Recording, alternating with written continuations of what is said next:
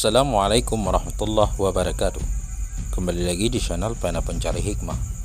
Kali ini kita akan bahas Prabowo. Prabowo ditunjuk Jokowi jadi Menteri Bidang Pertahanan.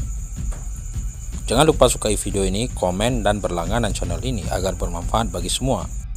Dari Jakarta, kompas.com Ketua Umum Partai Gerindra Prabowo Subianto mengaku diminta untuk masuk ke Kabinet Joko Widodo Ma'ruf Amin meski tak menyebut spesifik pos menteri yang akan diemban. Namun Prabowo menyebut ia akan membantu kabinet Jokowi Ma'ruf di bidang pertahanan.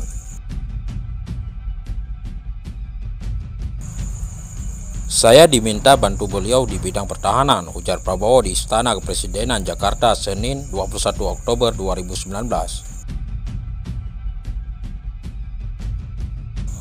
Mantan Komandan Jenderal Kopassus tersebut mengaku akan bekerja keras untuk mencapai apa sasaran yang telah ditentukan oleh pemerintahan Jokowi.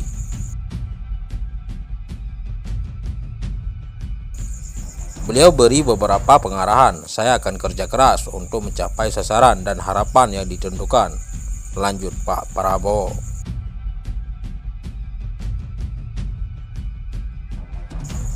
Selain Prabowo, Wakil Ketua Umum Partai Gerindra Edi Prabowo juga mendapat pos menteri.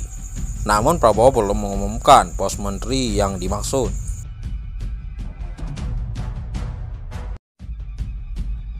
Prabowo sekaligus memastikan ia dan Edi siap membantu kabinet Jokowi Ma'ruf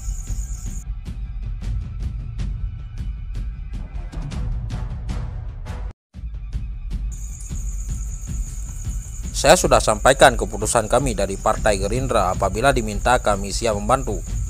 Hari ini siap diminta dan kami siap membantu, sambung dia.